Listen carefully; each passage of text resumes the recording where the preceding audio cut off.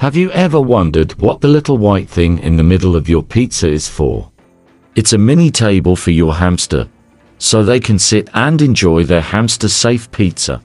Or at least that's what I like to use it for.